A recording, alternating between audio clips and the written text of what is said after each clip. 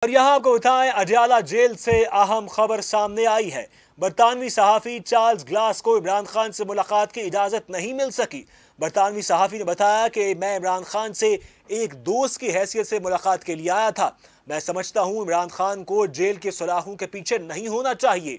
میں امید کرتا ہوں کہ عمران خان جلد جیل سے رہا ہو جائیں گے۔ عمران خان سخت جیل کاٹ رہے ہیں۔ وہ اپنی بیرکس میں سورج نہیں دیکھ سکتے۔ وہ ایک مشکل انسان ہے جیل میں خطابیں پڑھ رہے ہیں اور عبادت کر رہے ہیں۔ عمران خان جیل میں خود کو پاکستان میں ہونے والے ڈرامے کے لیے تیار کر رہے ہیں۔ مجھے معلوم نہیں کہ عمران خان کے مذاکرات کہاں ہو رہے ہیں۔ پاکستانی اداروں کو چاہیے کہ ملک میں بھوک اور غربت کے خاتمے کے لیے اپنا کردار ادا کریں۔ اڈیالہ جیل سے اہم خبر سامنے آئی ہے۔